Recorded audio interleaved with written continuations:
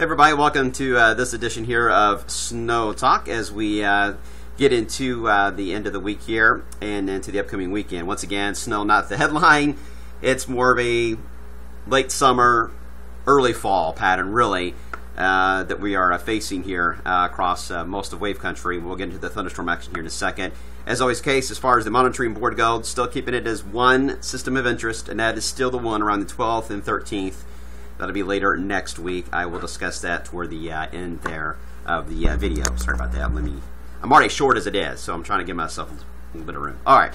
So uh, here we go with the latest uh, when it comes to temperatures this afternoon. We are now three away from tying the record of 80 set back in 2003. We're currently 77 as of this uh, blog taping, and that is with cloud cover. Now, the issue is there's enough breaks in the clouds that some heating is taking place, and that's why I think if we don't do it today, we could do it again tomorrow. Tomorrow, we actually have a south wind in our favor to pump in warmer air. Uh, so we can actually counterbalance the clouds if they're uh, thicker tomorrow. So there's a chance to hit 80 today and tomorrow. Wouldn't rule it out. Somewhere across wave country, that is possible. All right, so let's, uh, and that would put us in the record territory. Tomorrow's record, by the way, is 80 as well, set back in 1975. Record low warmth also is a factor. Uh, the record low uh, warm low, I should say, coming up for. Uh, let's see, this will be for Friday morning, as right now stands at 65 degrees. Now, if we go colder than 65 at some point throughout the day on Friday, and that would include Friday night, then that record is gone, and that could ruin it. So we may stay close to 70 all night Thursday night, but I think Friday night we will probably fall below that 65 degree record before midnight hits, if that makes sense. So record warmth possible, but uh, the cold front kind of will ruin that the way it's looking. All right, so here's a wide review of the setup. As we've mentioned, we've got this uh, gentle south flow today that's really going to ramp up tonight and tomorrow. The wind's going to pick up tomorrow night. You'll notice the difference there. Our system of interest is, as far as the this week goes, as the uh, cold front and low pressure developing now across the four corners, producing heavy snow. It's going to roll on out with um, really the main issue is how much of this warmth off the Gulf of Mexico is just going to tap into, and that's going to kick into the severe potential. Today, it's mainly a marginal risk in the front range of the Rockies. Tomorrow, they have moved the slight risk back down. Earlier today, it was through West Kentucky, including Paducah. Uh, now they've moved it back down to Arkansas and to Texas. The next update on this, by the way, will be coming up uh, tonight, just after midnight. Uh, the main reason is just the instability, is always the case, and the front has slowed a little bit on timing. So while um, you know, yes, we're getting into more of the daylight hours potentially for Friday. It actually is going to lessen the impact as far as how far east the stronger activity Thursday night can make it. If that makes sense. So uh, I can understand why they did pull back on that. I, I agree with the uh, 65 West marginal. I think that's a good placement there. It makes sense. A lot of the data is indicating there's going to be a, a nice little vortex that's going to track from uh, northwest Kentucky through Indiana into Ohio, and it's going to be that corridor that I think will have the strongest winds associated with it. So it actually would draw it more like that if I had to redraw this map, uh, and then uh, a lessening wind field to worry about here across uh, Kentucky. So not a big deal. Bet is always the case. We'll keep an eye on it. And then on Friday they have this in the marginal risk, but they again updated this late last night when the uh, the front was again slow trying to hint at something they may try to develop again or regenerate with the front for Kentucky Friday afternoon. I don't really see that happening right now. That is a possibility if it slows down even more. Wouldn't rule that out. If I got a feeling the next update they'll kind of chop that along 65 for uh, Friday, but uh, we'll monitor. So here's Futurecast as we head throughout Thursday morning. Uh, it's going to be a warm morning tonight, early tomorrow. Temperatures again in the 60s. Uh, model saying 73, but just like today, these little breaks you see in the cloud cover couldn't roll out uh, enough to get us close to 80 for the afternoon. A few areas of drizzle, we've, we've seen that today. Uh, it's possible, but not a widespread event. All right, it's going to get really windy and really warm as we head into Thursday night, Friday morning. In fact, your ACs will probably stay on all night if you have them on still.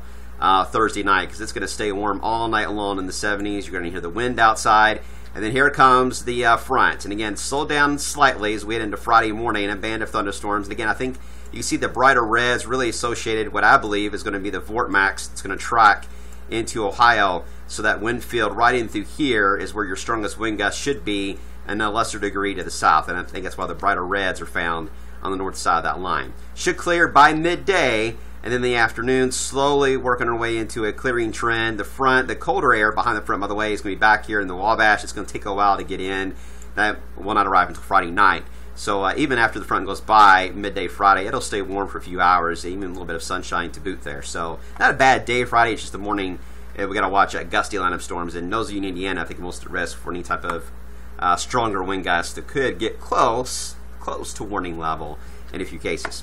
Wind fields in the GFS aloft have uh, come down compared to yesterday, but you can really tell the difference. Yesterday we had the bright reds right over us, showing the Vortex tracking over our area, which would have enhanced our winds. Today, again, it's a little further to the north, closer to the track of the low, uh, which makes more sense, and uh, that's the reason why we're not that you know off the chain here about this. And instability, it's there, um, not off the charts. You don't need a, a lot for this time of the year. I would say 500 is uh, generous. You can reach 500 uh, joules uh, per uh, kilogram when it comes to the instability on CAPEs, and still get uh, enough height in the uh, thunderstorms to tap into those stronger winds. But again, it's it just looks like a typical scenario we see in fall and and uh, late winter where it's it's not that huge an ordeal. But uh, we'll see how it plays out. As far as rainfall goes with this, because it is a fairly narrow line, there's not a lot of rain to talk about. The model's not too excited, anywhere from quarter to maybe half inch, the way it's uh, beginning to trend.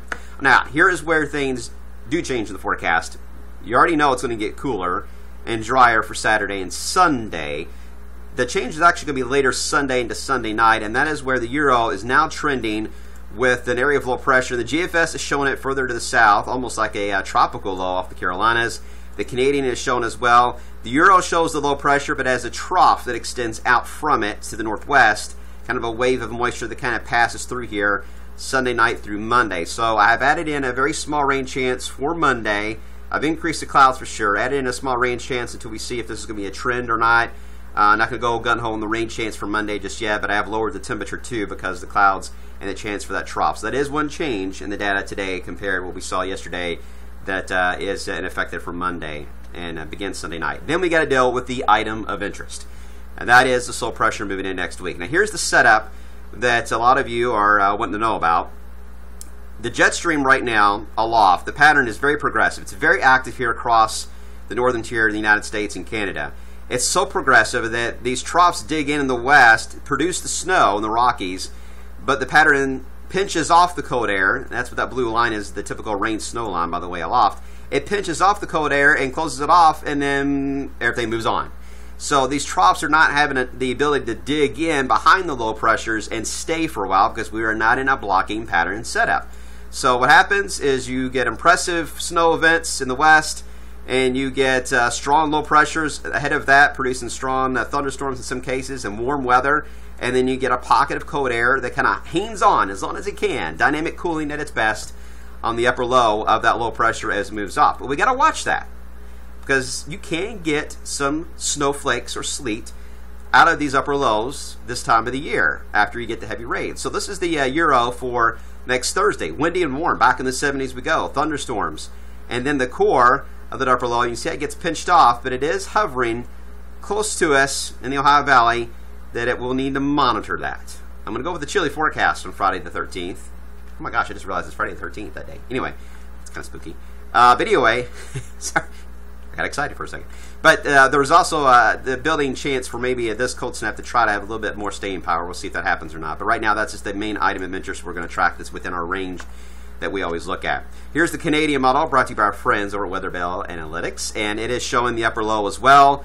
This is going to be for uh, Friday morning, the 13th. You can see it's cold, and it moves over us uh, as we head into Friday afternoon. Again, this would suggest maybe some snowflakes mixed in. Not a big ordeal when it comes to this being an accumulating snow because too warm.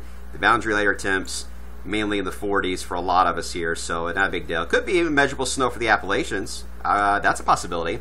But for us, no. That is not going to happen with this system, and I don't see any sign of that whatsoever. Uh, but maybe a cold rain, maybe a few flakes or sleet mixed in, that is possible, and that's why it remains just an item of interest. So for snow lovers, not that exciting of a forecast to talk about for those the, those of you love thunderstorms, we've got really two systems that uh, will get you excited. Got one coming up, of course, Friday morning, and we got one uh, next Thursday. So, welcome to October. It's uh, becoming a wild month for us. All right, I've talked long enough. We'll see you today beginning at 5 o'clock.